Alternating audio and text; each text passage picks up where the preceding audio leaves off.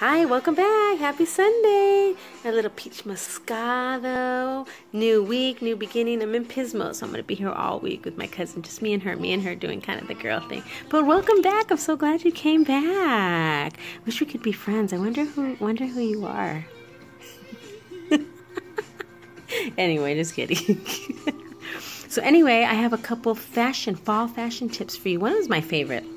So I, I use this tip all year long, but when it comes to the fall, I just like get really, really excited. I love oversized sweaters. I love oversized tops actually because I like to wear them as dresses. So for the fall, I like to get oversized sweaters preferably those that are off the shoulder, and I like them big. I like to wear them to my knees as a dress, like I said, and then I like to wear my boots, my knee-high boots, and kind of give it a little kick. Sometimes I put a little belt for shoes. Oh, I see so many ladies do it. So keep an extra pair of shoes in your car. That's like the best fashion tip I've ever received. Make sure you keep an extra pair of flat shoes in your car. You just never know because you know we love our high heels. Oh, we love our high heels.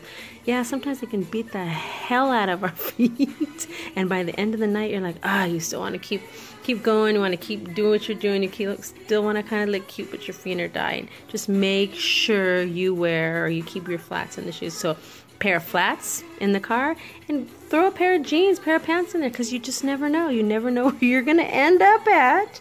You know, been there, done that. So just kind of wanted to give you those little fashion tips. Get your sweaters ready. Throw out all the other old stuff. Put your summer stuff away in little boxes. Put them at the back of the shelves.